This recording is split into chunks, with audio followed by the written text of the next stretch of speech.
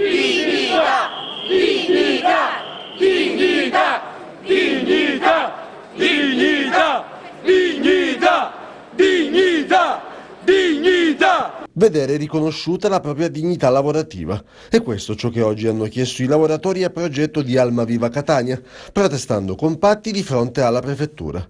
Un presidio il loro che si è svolto parallelamente all'appuntamento organizzato a Roma al Mise sul tema dei Cococoe che assume una valenza nazionale, perché proprio Catania è la città con il numero più alto di lavoratori che devono fare i conti con una situazione insostenibile che conduce in alcuni casi e su alcune commesse a compensi non solo al di sotto della soglia di povertà, ma addirittura della dignità appunto, con un guadagno mensile di meno di 200 euro secondo quanto affermano, a fronte di un lavoro quotidiano part-time di 4 ore.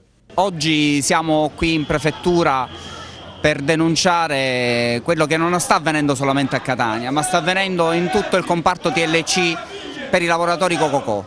Non c'è più dignità e qualsiasi cosa viene richiesta, viene richiesta quasi per eh, compassione. Noi non vogliamo questo, è gente che lavora 4 ore al giorno, è gente che va rispettata. Un giorno è entrata per sostenersi dalle spese universitarie, oggi devono sostenere le proprie famiglie, così non può andare. Oggi siamo qui in prefettura per denunciare proprio questo. Siamo di fronte a dei paradossi italiani, siamo di fronte a lavoratori che con un indice di scolarizzazione molto alto arrivano a fine mese anche a guadagnare 150-200 euro al mese.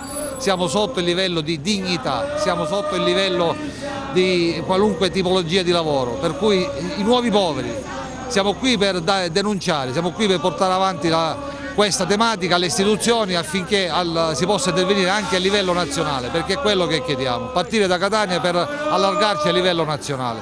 Siamo qui in, sotto la prefettura con i lavoratori Cococò di Almaviva per rappresentare un dramma sociale del territorio e del sistema paese. In Almaviva lavorano circa 400 lavoratrici e lavoratori età, con età media che vanno dai 40 ai 50 anni che vivono con redditi a volte al di sotto di quello che è stato definito reddito di cittadinanza dal nuovo governo.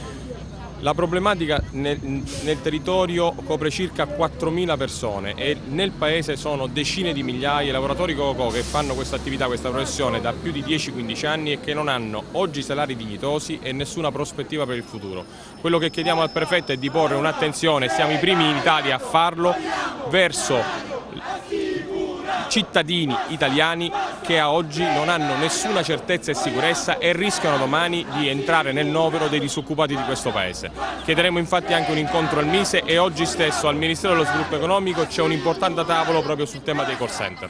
Siamo qui oggi insieme a tutti i lavoratori precari, atipici, chiamati Cococò, i quali praticamente non hanno, eh, secondo l'accordo nazionale, mai avuto riconosciuto il loro fisso giornaliero orario, così come previsto dall'accordo, ma solo una tariffazione in base alla capacità di vendita che oggi con la crisi economica e con l'avvento dei committenti e le commesse che ci sono non riescono più a raggiungere un giusto stipendio mensile. Il problema di questi lavoratori è che ci vivono ormai da anni, sono dieci anni che fanno questa attività, non hanno sbocchi alternativi. L'età media si è alzata tantissimo, ricollocarli è molto difficile, quindi si chiede un aiuto concreto alle istituzioni tutte per venire incontro a questa tipologia e normalizzarli.